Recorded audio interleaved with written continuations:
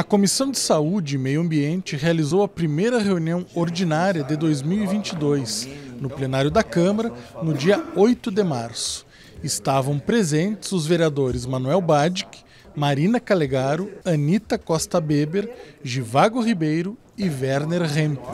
Por estar de atestado médico, o vereador Rudes Rodrigues não participou da reunião. A gente hoje fez a primeira reunião da Comissão de Saúde e Meio Ambiente, onde a gente eh, fez alguns procedimentos, como que vai ocorrer durante o ano a reunião das comissões.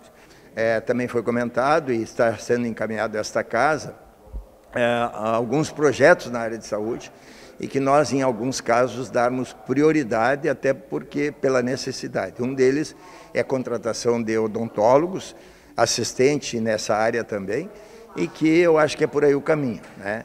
A Comissão de Saúde também fica em aberto a todos os vereadores, todos aqueles que tiverem alguma pauta, né, pode chegar à comissão, porque nós representamos a Câmara de Vereadores e aqueles que não, tem, não ficaram na nossa comissão tem a possibilidade de trazer assuntos dentro dessa, desse prisma que é saúde e meio ambiente. Os parlamentares debateram temas como atenção básica, o atendimento nas unidades básicas de saúde, as habitações construídas em áreas de risco, o planejamento urbano, a segurança nas UBSs, entre outros assuntos.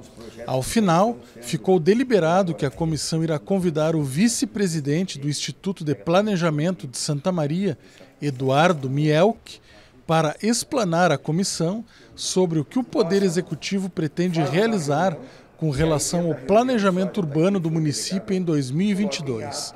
A reunião está prevista para a próxima terça-feira, 15 de março, a partir das 9 horas da manhã, no plenário da Câmara.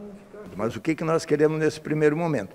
Ter um panorama, ter uma visão né, do que, que se está pensando e tratando dentro do plano diretor nas questões ambientais.